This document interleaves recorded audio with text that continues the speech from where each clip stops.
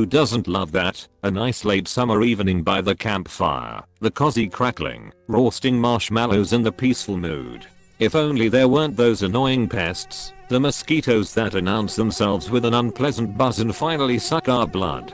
The mosquitoes belong to a gigantic group of animals, the arthropods. The name arthropod, like many terms from biology, comes from ancient Greek. Arthron means joint or limb, podus is familiar to us from many areas forefoot. The name refers to the structure of the body, which, in contrast to the vertebrates or mollusks, is strongly segmented. The arthropods are a diverse group of arachnids, insects, centipedes, millipedes, and crustaceans. I try to tell the story of the arthropods even I'm really not very familiar with this theme. The pie chart shows the approximate distribution of the known arthropods, with the hexapods being strongly dominant here. Again, the term is Greek for six-legged creatures, and of course it refers to the vast kingdom of insects. Up to a million species are known, nobody really knows, and the number of unreported cases is enormous. In phylogenesis, the arthropods belong to the protostomes, a group that is opposed to us deuterostomes. I will come back to this later. The protostome group consists of over 1.3 million species, compared to about 72,000 types of us deuterostomes. Even so, it will hardly occur to anyone today that the protostomes are the dominant group. However, this view is deceptive when we look at biomass. There are no reliable figures, but we can safely assume a total population of over 11 quintillion insects. Or to put it a little more vividly, if we were to distribute the insects over the entire troposphere of the earth, then 3 insects would be found in every cubic meter of air. Despite this incredible number, the estimated total mass of insects is around 70 times that of all humans, which shows that most insects are downright lightweights. If we make cubes out of all people and all insects in a slightly macabre imagination and compare this with what will one day be the tallest building on earth, this allows us to draw conclusions about the biomass. Only bacteria and plants make up more biomass, but that is only mentioned in passing. So where do these protostomes come from, and how did they become so successful? Let's go to the very beginning. No, not quite, because I already mentioned part of the path in origin of fish. After all we were a single group, until about 650 million years ago. The first coelom animals did not differ significantly from the coelomates, with the exception of an additional body cavity. Then, in the truest sense of the word, the breakthrough came. The breakthrough resulted in a tubular digestive tract inside, as well as a mouth and anus. This was also the moment when our two groups separated, because we deuterostomes decided to make the mouth out of the new opening and the anus out of the existing opening, while the protostomes kept the original mouth, and the new one with the opening was used for defecation. What follows is purely hypothetical, and not proven by fossils. As with the deuterostomes, the protostomes also developed a nervous system from the ectoderm, only this was not tied to a knotted chord, and was more like an open ring. The top and bottom were defined by the position of the nerve cord opposite the anus, with which the protostomes assume a lateral position from our point of view. Now comes the next step, which led the protostomes to rapid success. The connection of several units in the same segments enabled them to quickly gain in size and mobility. This created the typical elongated body with its nerve bridges and the so-called thick nerve endings, known as ganglia, on the head. Protrusions in these segments can later become legs or fin hems. I'm assuming here that the first radiation of the protostomes probably took place around 580 million years ago, after the end of the Gaskiers glaciation. Two main groups emerged, the Ecdysozoa and the Spiralia. Both are supergroups that contain a large number of different, more or less well-known animal phyla. The arthropods belong to the Ecdysozoa, but first, for the sake of completeness, we will briefly consider the group of Spiralia. Of course, it must be said clearly once again that we are in a time that can hardly be grasped by fossils, but molecular clocks often help to create possible family trees. Probably very soon after their formation, the Spiralia divide again into the groups of Gnathifera and Platytrochozoa. The Gnathifera include the Rotifera and Chaetognathia. The Rotifera have a simple structure that is quite original. But they also show the threefold structure, which I will go into in more detail later on with the Ecdysozoa. The coelom is strongly regressed in these animals, so that one can rather speak of a pseudocoelom. The chaetognaths also have a comparably simple physique, in contrast to the rotifera they have lateral fins. In contrast to the rotifera, fossil evidence has existed since the earliest Cambrian. The so-called Protoconodonta are assigned to them. The name is badly chosen, because it is not about conodonts, which are known to be vertebrates. So little for the Gnathifera, who are the smaller and less known group of the Spiralia. The Platytrochozoa, for their part, produced two groups about 570 million years ago, the Lophotrochozoa and the Rouphozoa. The Rouphozoa are also known as flatworms, so the platyhelminths are one of them. The bizarre feature of these flatworms is that basically like the deuterostomes they made the new breakthrough into the mouth, but at the same time it also became the anus. The opening at the head was simply rationalized away. Incidentally, these flatworms have little in common with the older Acoelomorpha. In addition to pretty representatives, there are also less pleasant specimens such as the tapeworm, which has discovered our intestines as a habitat. Another group of Rouphozoa, the Gastrotricha, have a continuous digestive tract. Now we come to the Lophotrochozoa, the most important group within the Spiralia. We are still in the middle of the Ediacaria and there is still no trace of fossils. More than 560 million years ago the Lophotrochozoa separated again. From the first group the Annelida emerged, from the second the Lophophorata and the mollusks. Finally a familiar term after all these tongue-breaking artificial terms in biology.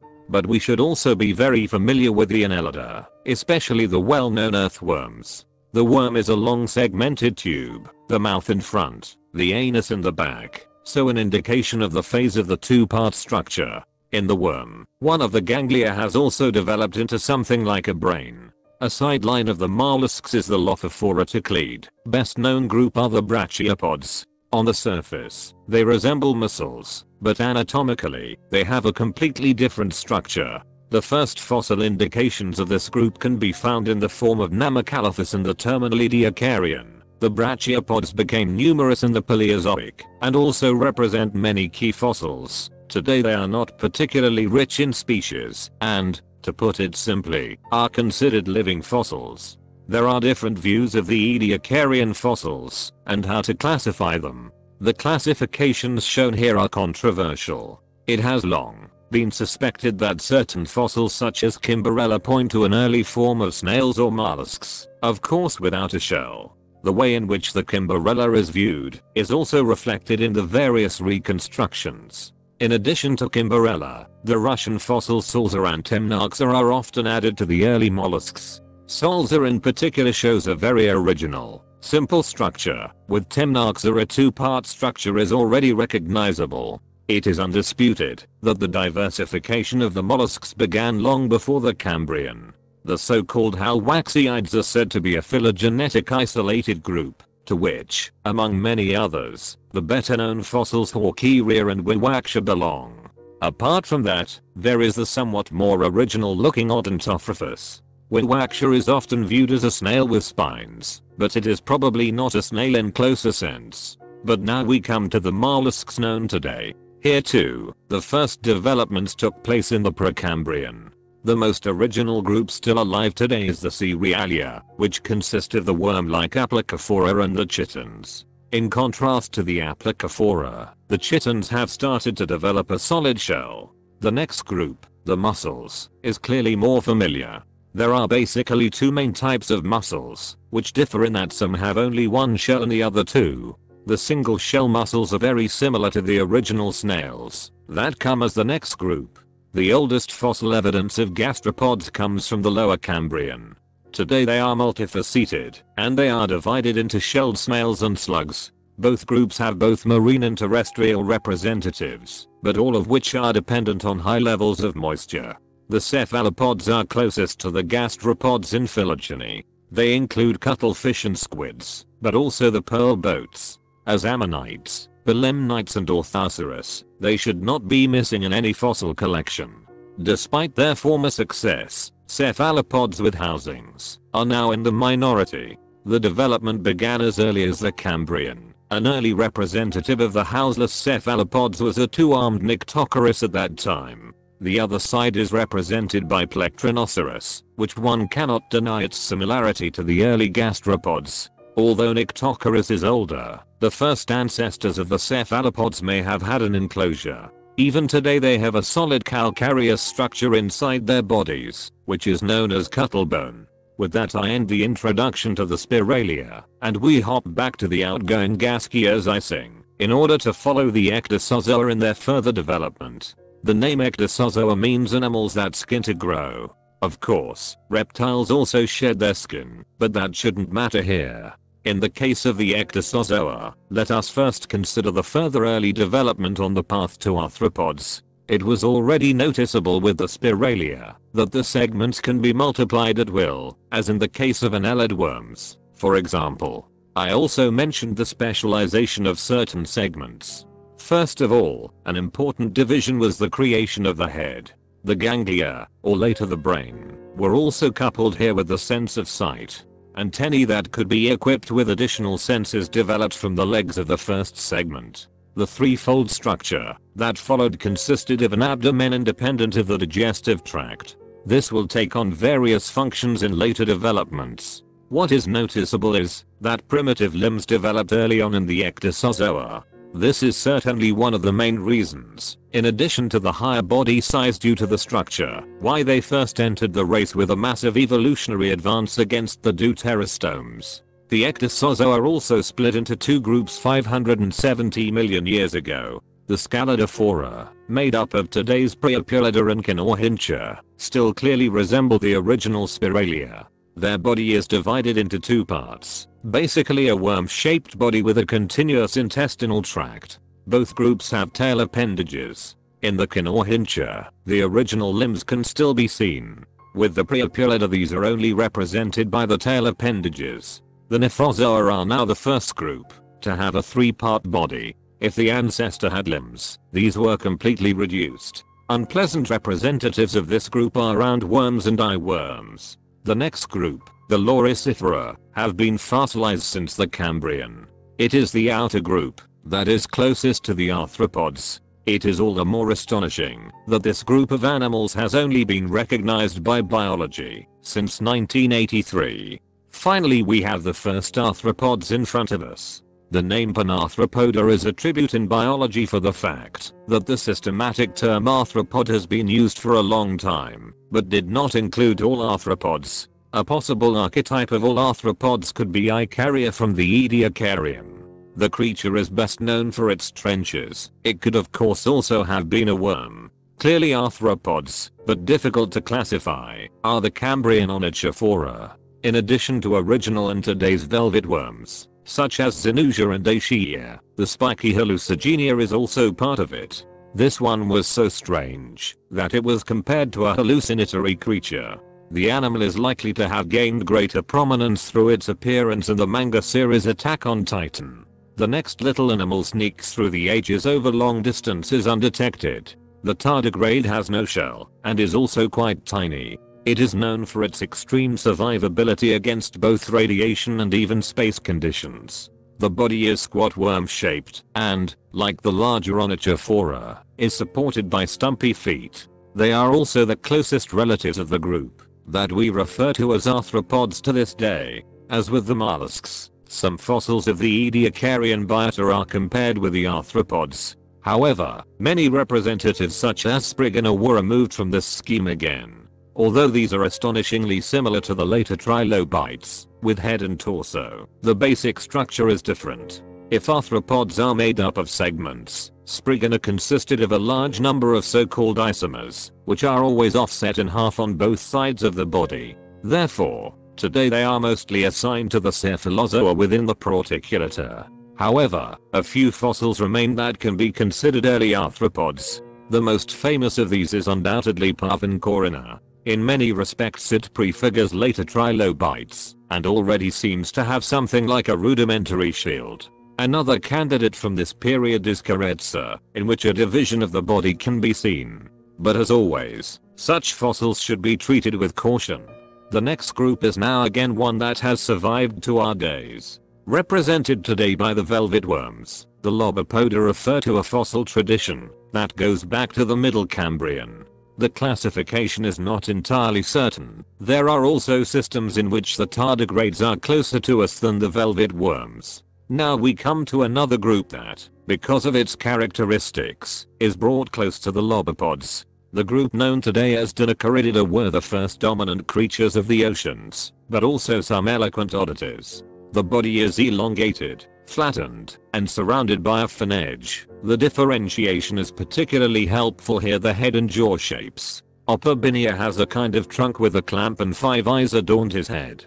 The main feature of the Radiodonta is its round mouth, which is surrounded by mouthparts on all sides. Anomalocaris and his relatives used long tentacles to hunt the prey. Since this was previously thought to be shrimp, the Latin word for shrimp, Caris, also became part of the name. It was later recognized that this animal was the undisputed top predator and was at the top of the food chain. With lengths of over half a meter, they were the first giants of prehistoric times, while the largest vertebrates were perhaps 5 centimeters long. Not all Radiodonta were active hunters, so the up to 2 meters long Aegirocassis, which belonged to the Hurdiidae and lived in the lower Ordovician, was like modern baleen whales to the filter feeders. The last known representative of the Dinocarididae is Schinderhannes, which died out 393 million years ago. By then they had long since lost their dominant role. The order of the next representatives is quite arbitrary and could also be done differently. I have decided to use the Arachnomorphs for the beginning. As the name clearly suggests, it is the group from which our modern spiders emerged, but the group has much more to offer than just the spiders. First and foremost one of the most successful animal groups of the Paleozoic era, the trilobites. The trilobites are pushed together with primeval creatures similar to the Dinocarididae to the Archaeopoda. The position of the oldest Chelicerata group and the Vicissicaudata are sometimes assigned to the Pantrilobites. The Vicissicaudata have a spiky stem as a characteristic element, a feature that we will come across mainly in the Chelicerata. The trilobites are part of a larger family. Let us start with the division into the arachnomorphs, compared here with the crustaceans. The arachnomorphs are divided into a trilobite clade and a chelicerate clade.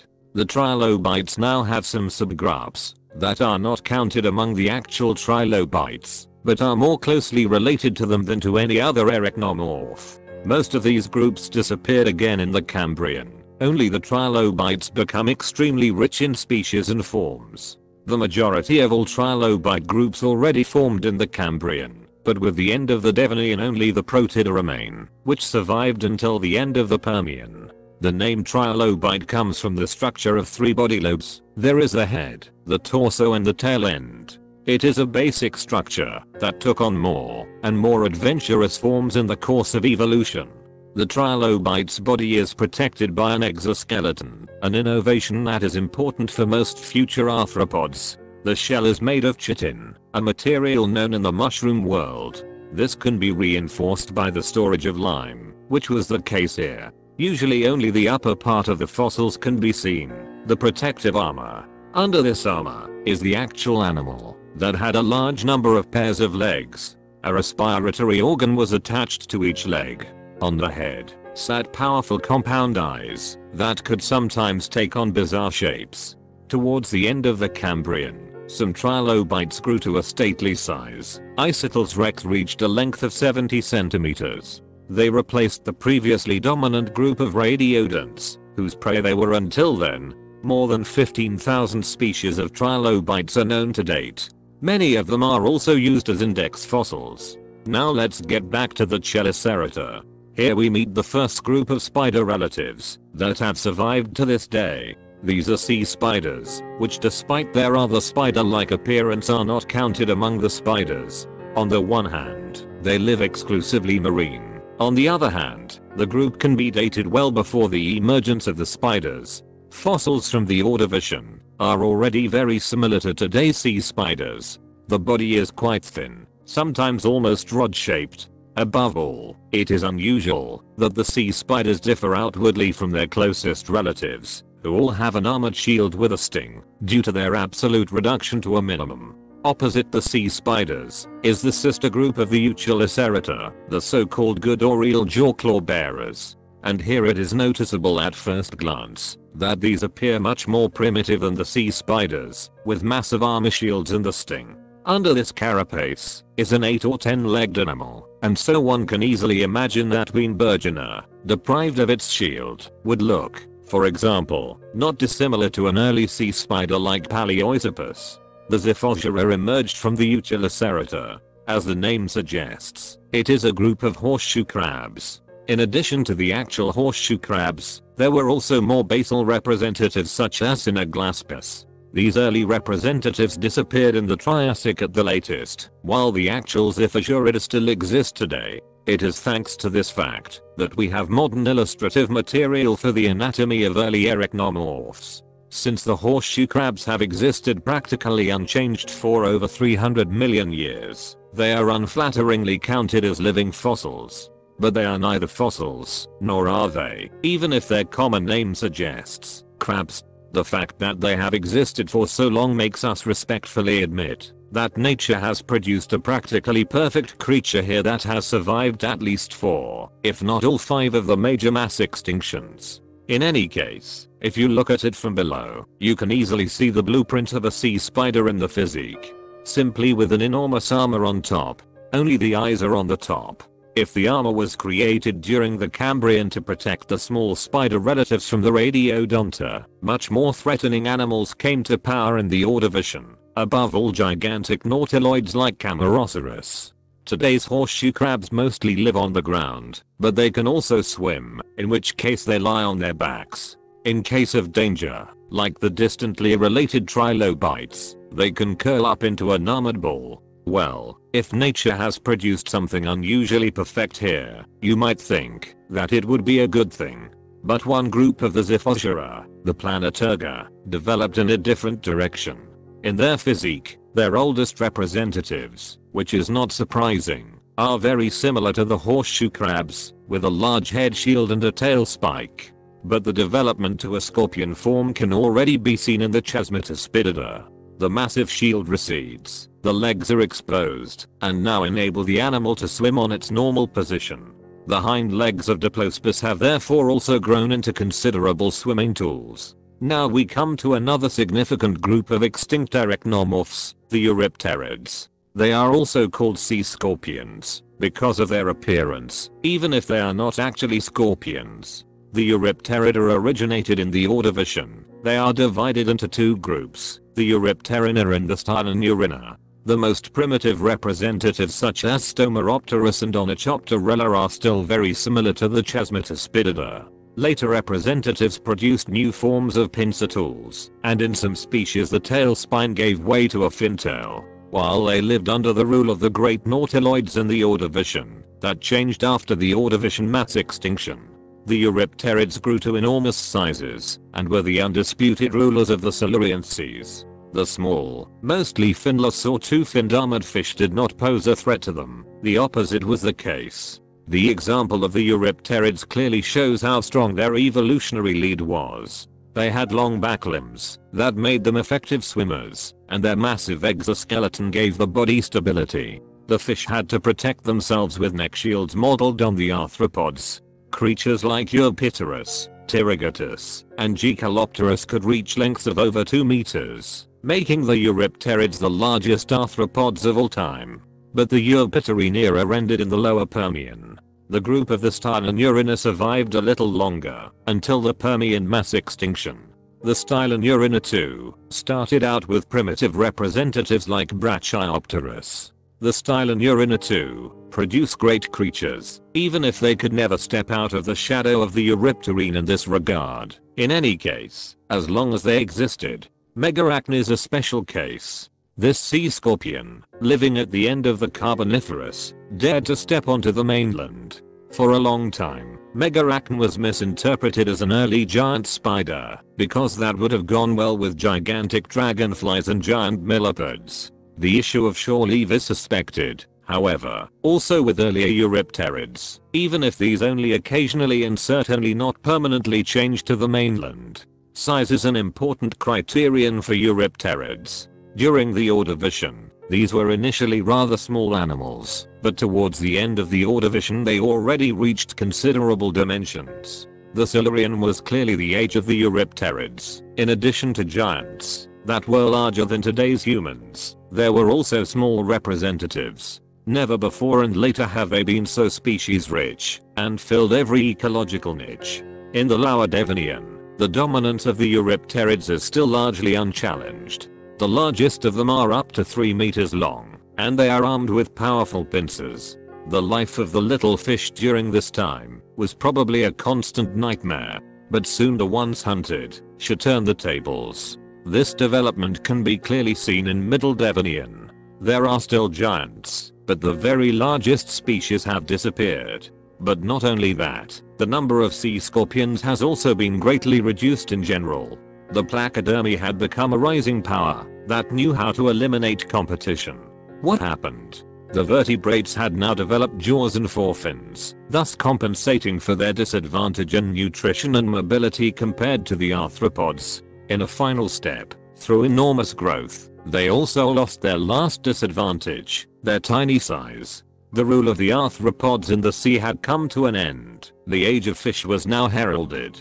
The situation of the Eurypterids did not really improve in the upper Devonian either. With Dunkleosteus, the placodermi put a bus-sized top robber who clearly overshadowed everything that had been there before. The former top predators of the Silurian now eke out an existence. Even during the Carboniferous, their situation improved only moderately, even if most of the placodermi are extinct. In their place, the bony fish, which are much more advanced than the placodermi, as well as the ancestors of the sharks have now taken their place. The largest late Devonian Eurypterids died out. The largest species were now the more originally looking Hemipteris and Campylocephalus. The already mentioned megarachnid dared to step onto the mainland. The Permian finally meant the end of the two orders of the sea scorpions. Campylocephalus survived until the end of this age, but, like the last trilobites, had nothing to counter the Permian mass extinction. The fate of the Eurypterids and trilobites thus has tragic parallels. Both groups were still at the height of their development during the Devonian, and were subsequently pushed into an edge existence. Now we finally come to the group of arachnids, the arachnids in the closer sense. Its roots lie in the Ordovician and its representatives resembled the most primitive Eurypterids. Before the emergence of spiders and scorpions, another, quite heterogeneous group of arachnids emerged. Although their phylogeny dates back to the Middle Ordovician, they have only been fossilized since the Lower Devonian, and for this, they have already made their way to the mainland. The oldest fossils can be found in the famous Rhynie Chert in Scotland. In History of Plants, my colleague Alex Springs reported on Rhyniophytes, the oldest group of vascular plants. Arthropods followed the plants. The herbivores were soon followed by the hunters, to which the majority of the arachnids belong. As I said, the group is extremely heterogeneous. First of all, there are the countless mites, but also the parasitiforms, to which such unpleasant contemporaries as the ticks belong, which have been terrorizing mammals birds and probably also some feathered dinosaurs for about 100 million years. The other two groups differ from the mites, which usually act in the millimeter range and below. The harvestmen are also already present in the Rhynie fossil community. The Ricinulei and especially the camel spiders are of even greater caliber, even if reports of gigantic camel spiders in the Middle East were clearly exaggerated. With a body length of 6 centimeters, they are respectable, and the legs can be 15 centimeters long. In the horror tales of US soldiers, they became giant monsters who like to attack people to drink their blood. Now we come to a group of arachnids that pose a real threat to humans. Scorpion stings kill between 1000 and 5000 people each year. Its toxicity is certainly a factor in the fascination that the Scorpio exerts on us. The scorpion is one of only two arthropods in the astrological zodiac. In the form of the goddess Serket, the scorpion was already worshipped by the ancient Egyptians, and two predynastic kings called themselves Scorpion. The constellation Scorpio was already known to the Sumerians under the name Girtab. The Greeks finally adopted this constellation in the zodiac. that is common today. The first scorpions such as Parioscorpio already appear in the Silurian, so they are even older than the arthropods of the Rhynie fauna. However, Parioscorpio is much more like its marine ancestors than the modern scorpions. But already in the Silurian the typical shape of scorpions developed. The tail sting eventually became the venomous sting, and the foremost limbs, like the Eurypterids, became pincers.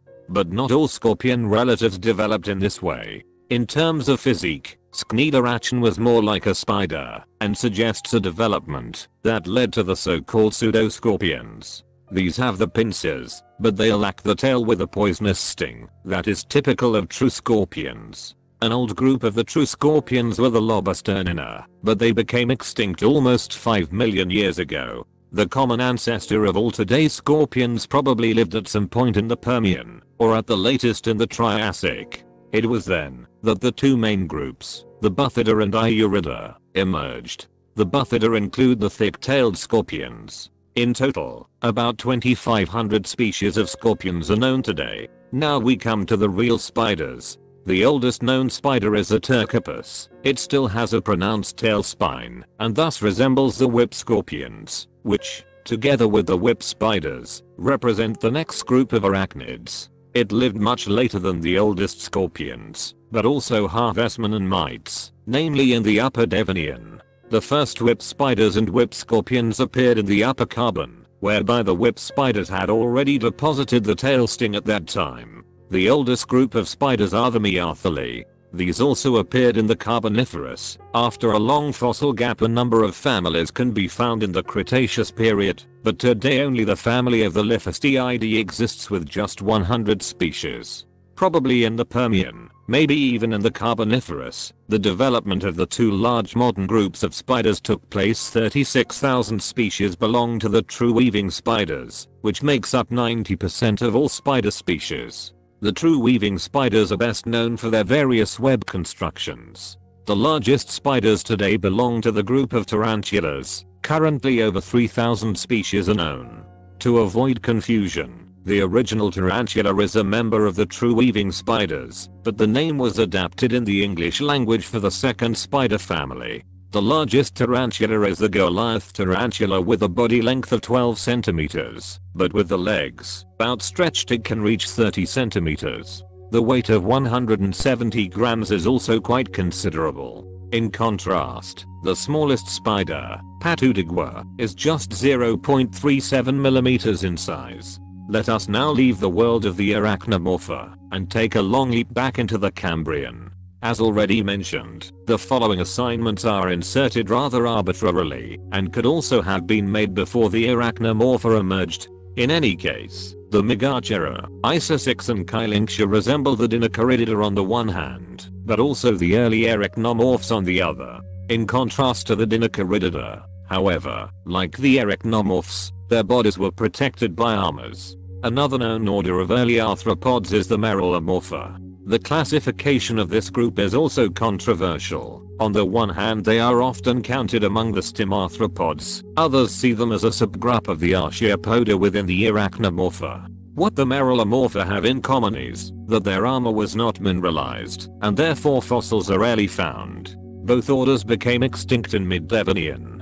Thexearp died out as early as the Ordovician, which is also often classified among the stimarthropods. After the rather uncertain candidates, we are now back in more secure areas. The Mandibulata are a group that includes most of today's arthropods. The most primitive group are the Euthycarcinoidea. They probably originated in the Ediacaran, but fossils of them did not appear until the Devonian.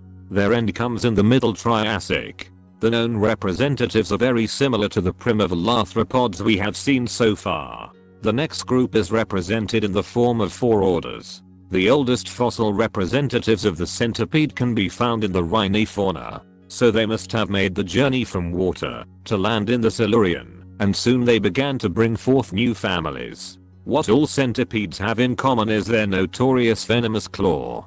The older families such as Scutigeromorpha, Lithobiomorpha and Craterostigmomorpha have 15 pairs of legs. The Scolopendromorphs have between 21 and 23 pairs of legs, while the very long Geophilomorpha can sometimes have up to 191 pairs of legs. Incidentally, none of the so-called centipedes really has a hundred feet. A representative of the lesser known pauropods also seems to have existed in the Rhynie fauna. The pauropods usually have either 9 or 10 segments, each with a pair of legs. The Symphyla are only known to have been fossilized since the Upper Cretaceous. Their body usually consists of 12 segments, each with a pair of legs, so comparable to the centipedes. The remaining group are the Diplopoda, they distinguish themselves from the other myriapods because they have two pairs of legs per segment. This is the result of the merging of two segments into one. The diplopoda are also commonly referred to as millipedes, which of course, as with the centipedes, is meant more metaphorically.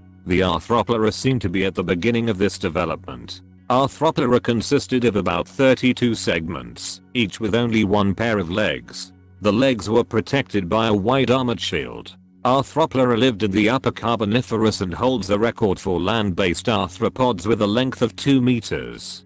A small ancestor, Eoarthropleura, has already been identified in the Upper Silurian. The Zosterogrammida that appeared at the same time were significantly smaller than the Arthropleura. These were no more than 2 inches long. The pill millipedes and the Glomerodesmida are closely related to them. The pill millipedes have between 9 and 10 pairs of legs. They can pull their rather short stocky body into a protective sphere. The Glomerodesmida look like small copies of Arthropleura. Their body is made up of 22 segments. Unlike the pill millipedes, they cannot curl up. The Penicillata are particularly ancient. In contrast to later diplopods, there is no calcium deposit in their chitin skeleton. But these little millipedes are not defenseless. Their flanks are protected from attackers by barbed hair. They usually have between 13 and a maximum of 17 pairs of legs. The diplopoda described so far are considered primeval. The actual millipedes belong to the order Helminthomorpha. This is already divided in the Silurian into the Archipolypoda, which died out in the Carboniferous, and the Eugnatha. Cowiedesmus was already detected in the Silurian, Erichodesmus during the Devonian, the last known species of Archipolypoda was the respectable 30 cm long Euphoberia. The Colobognatha are considered the sister group of the Eugnatha.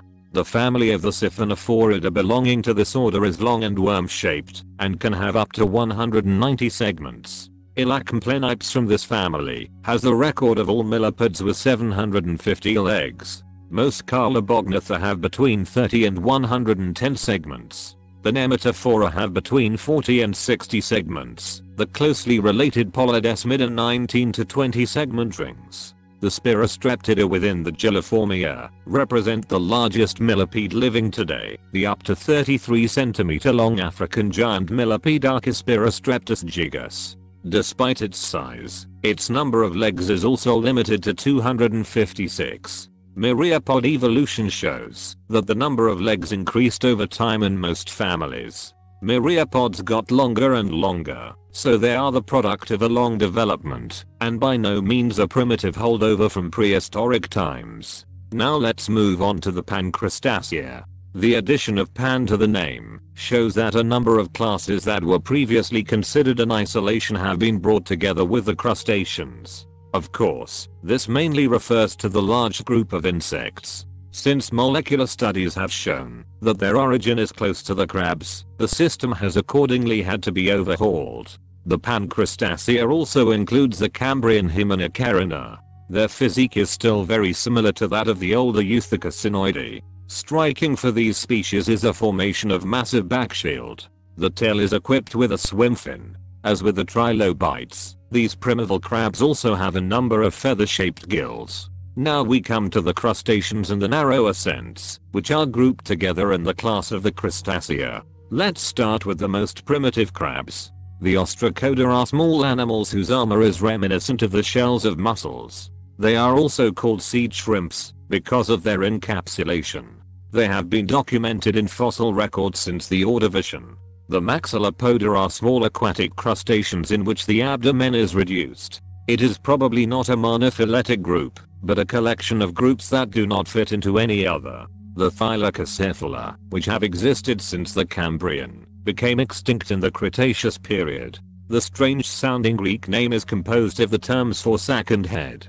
This is due to the fact that a kind of sack shaped body hangs on the head, while the limbs are in front. They remind me of a research submarine with the typical gripping arms. These remarkable crabs from Carboniferous to the Triassic reached their peak. The Malacostraca are also referred to as higher crustaceans, probably to differentiate them from the primeval crustaceans shown so far. The oldest group are the Phyllocaridae, the oldest representative of which, Tuzoia, is clearly reminiscent of the primeval crabs.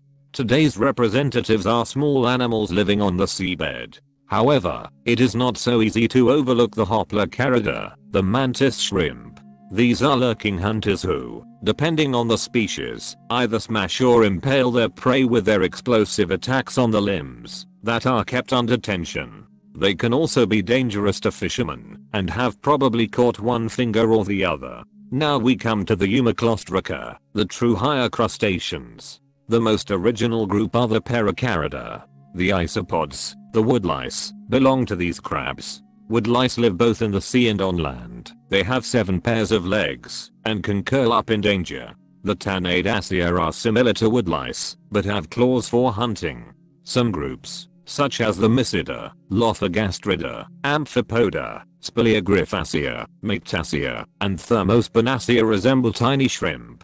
Because of their tiny size, the amphipods are also called sand fleas. The blood-sucking sand flea is notorious. The Thermosbaenacea live in caves, preferably with hot springs. The species Thermosbaena lives in 48 centigrade warm water. Temperatures below 30 centigrade are fatal for the animal. The Cumacea's body looks like a scorpion due to its long tail. The next larger group, the Syncaridae, probably arose during the lower Carboniferous.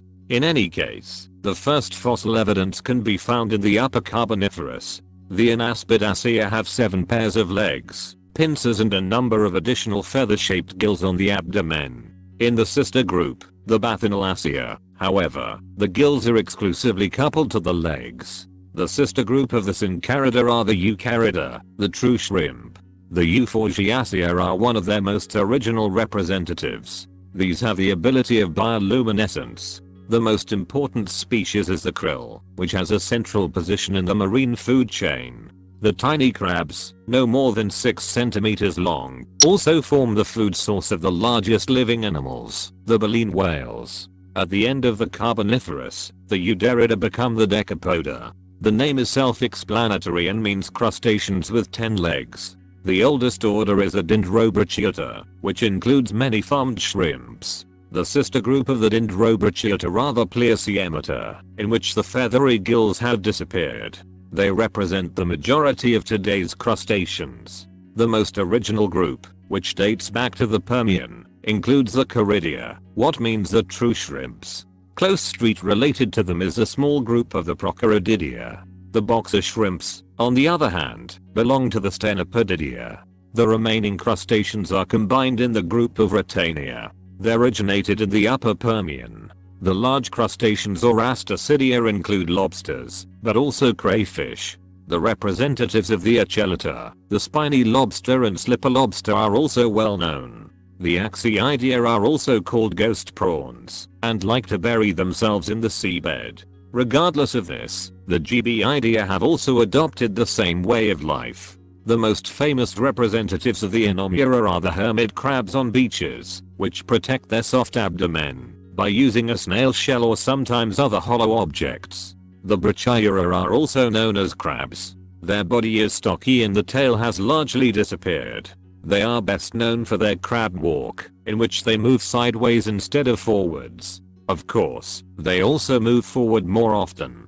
The crabs often leave their ancestral habitat some also live in sand caves in the tidal zones. They also include the largest type of crustacean living today, the Japanese spider crab. Stretched out from one leg to the other, the crab can grow to be 4 meters long. It weighs just under 14 kilograms. In terms of weight, however, that is beaten by the American lobster, for which a record of 20.1 kilograms is granted. Of course, these are records, and not the average sizes. The tallest living person, Sultan Kösen, with his 251 centimeters height is also well beyond the norm, which certainly does not make his life any easier. With this we are leaving the realm of the crustaceans, but to make it more confusing, not the realm of the crustaceans in and of itself. We are approaching insects, but there are two groups of animals that we commonly refer to as crustaceans, but which are more closely related to insects than to crustaceans.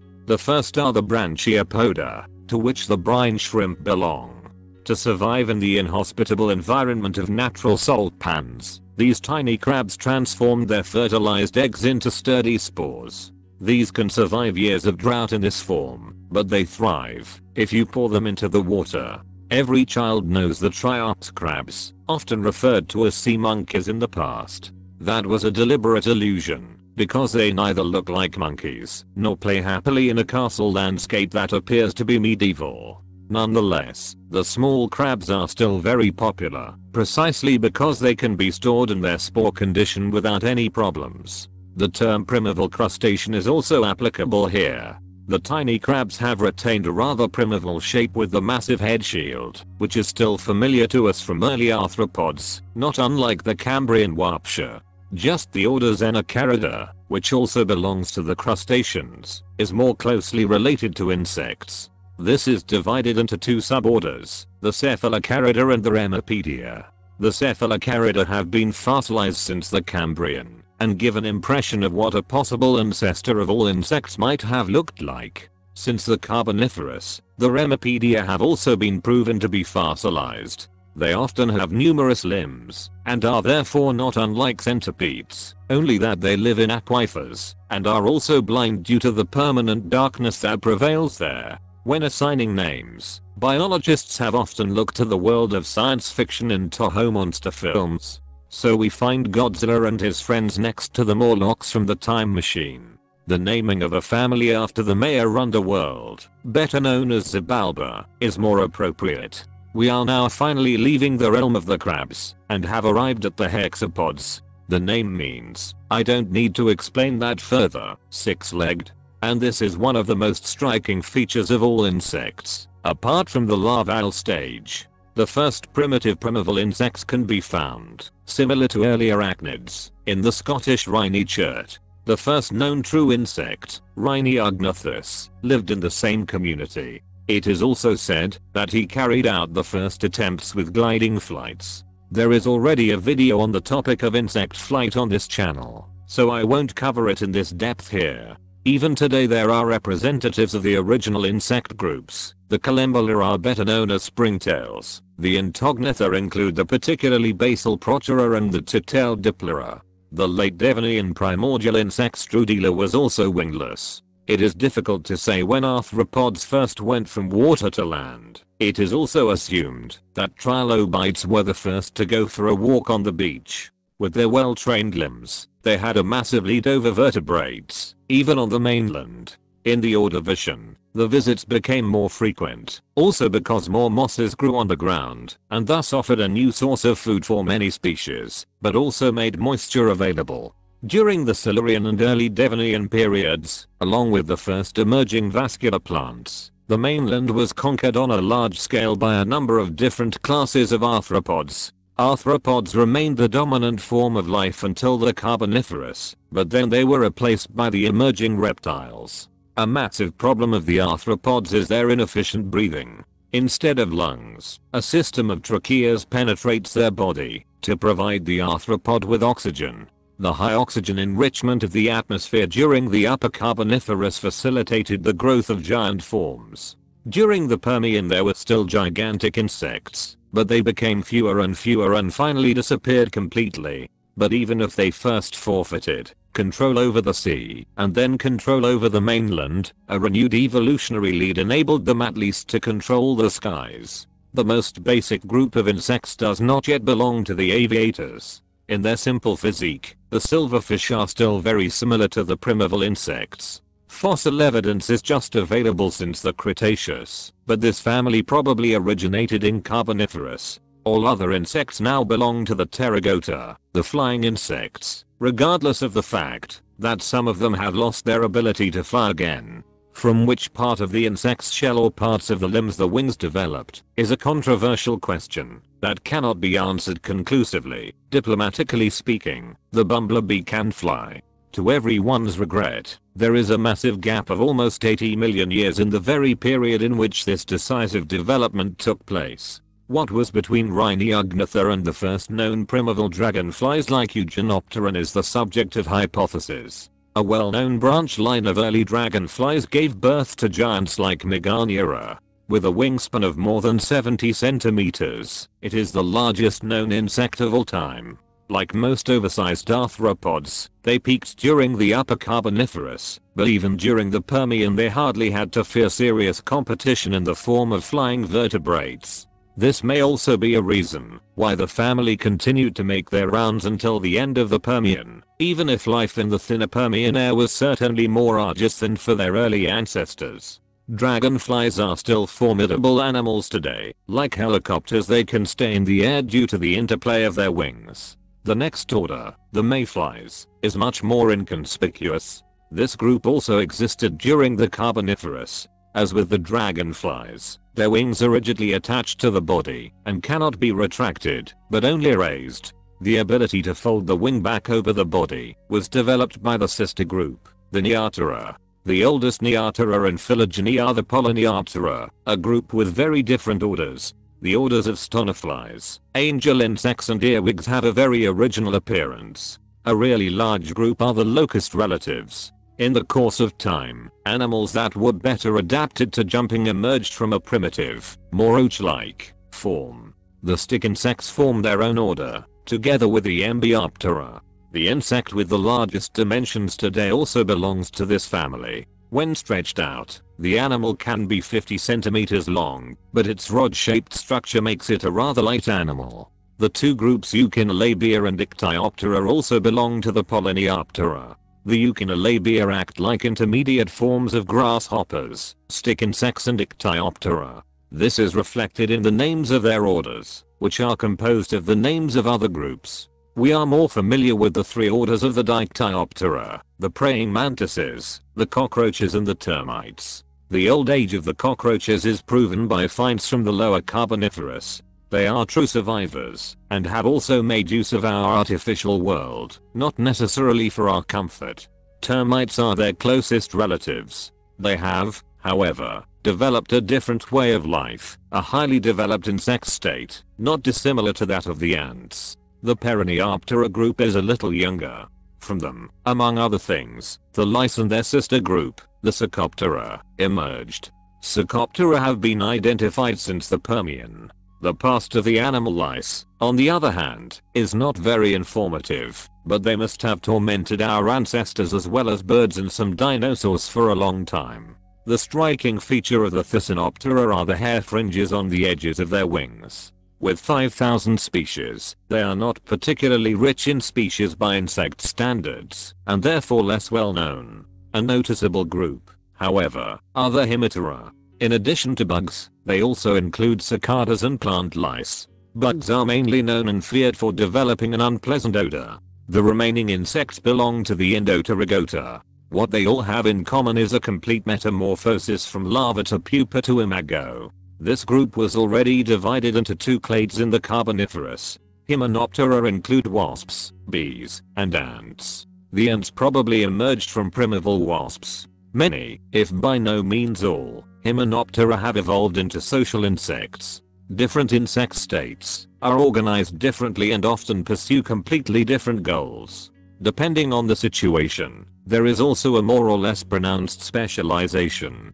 Some species of ants develop workers of various sizes, others partly also soldiers. But the ant colony is not limited to ants. Ants sometimes even grow plants or mushrooms keep aphids as pets or sometimes share their burrow with other insect species. Other species of ants are also enslaved. Some compare ants and bees to the cells of a superorganism.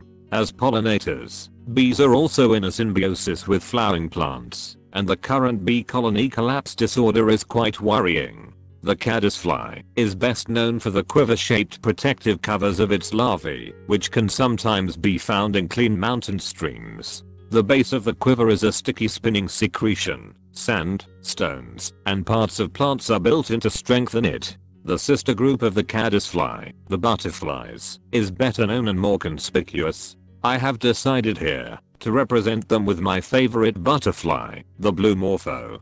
But of course butterflies are an endless topic. They are simply colorful, which makes it all the more astonishing that some of their colors are made up of pigments, while another part is created solely by the physical nature of the wing surface. The blue of the morpho butterfly is the best known example of this. This effect also occurs in birds. Now we come back to the mosquito, mentioned at the beginning. This belongs to the group of the two-winged insects. In contrast to the Hymenoptera, for example, they only have two wings, while the other pair of wings has been reduced to tiny oscillating pistons. These are sometimes also responsible for the extremely unpleasant noise of approaching mosquitoes. In addition to mosquitoes, flies also belong to this group of insects. It can also be said that the two-winged animals are the most threatening animals for humans. Over 400,000 people die every year as a result of malaria transmitted by a mosquito bite. But malaria is not the only disease that is transmitted by two-winged animals. There is also dengue fever, West Nile fever, that tsetse fly and many more. Of course, the two-winged do not intend to kill the victim, but their vampirism has made them ideal spreaders for many pathogens. The next group, the fleas, can also be counted among the vampires. In addition to their rather unpleasant role in the animal kingdom, they have the greatest jumping ability in terms of their body mass. Even if that doesn't necessarily make them more personable, we should show them respect for it. A lesser known group are the scorpion flies. They actually got their name from their sexual organ resembling a scorpion sting. We come to the second group of endopterygotes. The most important division are the beetles. With over 350,000 species, they are also the most formidable order within the vast insect world. The beetles are divided into 179 families, and hundreds of new species are added every year, with new families occasionally. Beetles come in different size categories and lifestyles. The heaviest beetle, the Goliath beetle, weighs up to 110 grams, making it the heaviest insect. At 17 centimeters in length, However, the giant longhorn beetle is the longest. The other three orders are far less known than the beetles. The Neuroptera have a very distinctive network structure in their wings. The wings of the Megaloptera are, in relation to the animal, as the name suggests, quite large. The snakerflies have a particularly bizarre shape with its long neck. With 200 species they are a tiny order and accordingly little known. The rule of the skies marks the final chapter of the dominance of the arthropods. While the Permian gliding reptiles such as Coelurosauravus were dangerous for insects in individual cases as hunters, but not really threatening as flyers, that changed in the Triassic. While the insects now became rather small flying animals, first the pterosaurs and finally the birds entered the upper league of aerial domination and some birds have even managed to break into the classic domains of insects as pollinator, above all the hummingbird. So it happened three times on the same principle. The evolutionary advantage was in each case made up for, and even surpassed by the vertebrates. Perhaps their initial primitiveness was ultimately an advantage. In the dryland, their more effective breathing system with lungs was an absolute benefit and the inner skeleton gave evolution more freedom in terms of shape and, in particular, size. In terms of number, mass, and biodiversity, however, the arthropods are the winners. They have occupied many ecological niches, and without them the world would certainly be a much worse place, even if we have to endure some annoying pests as a price. They are pollinators, earthworkers, and disposers, and without them most food chains would collapse. I thank you for your attention. See you soon.